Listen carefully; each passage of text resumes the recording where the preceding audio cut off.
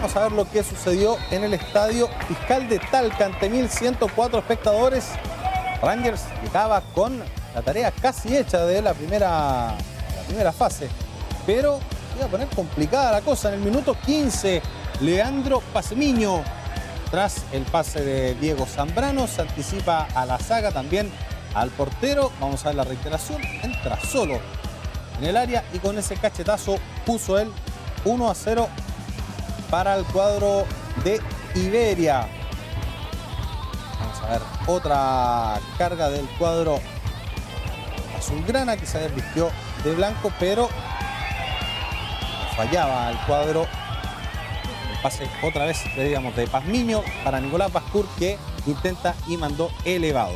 En el segundo tiempo vendrá la paridad del cuadro de Rangers tras esa jugada del centro que no logra despejar la defensa y finalmente Cristian Pavés con esa volea marca el 1 a 1, corrían 54 minutos de partido.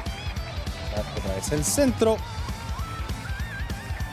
para que con esa volea, como decíamos, Cristian Pavés marque la paridad. Pero en el 58 vendrá Diego Ursúa para poner el 2 a 1 y el suspenso. Claro, van a buscar el balón rapidito porque con un gol más mandaban la llave a penales.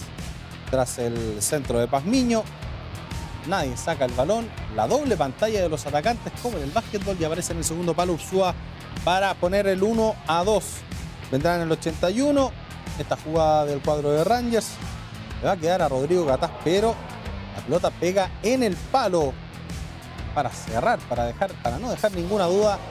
Sin embargo, no podía cerrar, lograr el empate al cuadro de Rangers de Talca. En el 85 vendrá el despeje del portero José Roca, pero Diego Ruiz golpea a Sebastián Villegas el juez Nicolás Gamboa lo expulsa, lo mandó a las duchas al pilo. No pudo hacer la proeza al cuadro de Iberia, le faltó un gol. Con esta derrota pasó Rangers 1 a 2, cayó ante Iberia.